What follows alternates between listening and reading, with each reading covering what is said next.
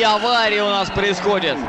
Нет, а там, э, прошу прощения, это был не Симон Пажино, это была борьба между Хиншлемом и э, Карлосом Уэртесом. Ну а здесь серьезные повреждения, посмотрите.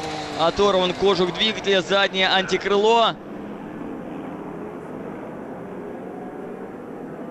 И машина э, из формулы превращается в такое подобие спорткара. Итак, давайте разбираться, что здесь произошло. Мартин Плоуман, дебютант. Первую гонку он проводит в нынешнем сезоне. И Франк Монтани.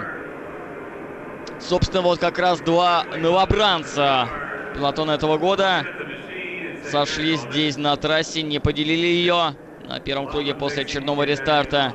Итак, как это было? Опа, потерял машину Плоуман.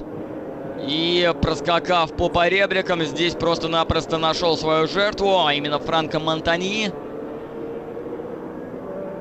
еще повезло на самом деле французу, что вот этот удар, вот этот полет Плоумана э, завершился на, скажем так, задней части машины Франко Монтани в районе заднего антикрыла.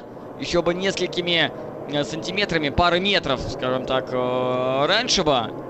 И вот этот удар мог прийтись в район кокпита. И, конечно, тогда все могло быть гораздо более печально. Обошлось.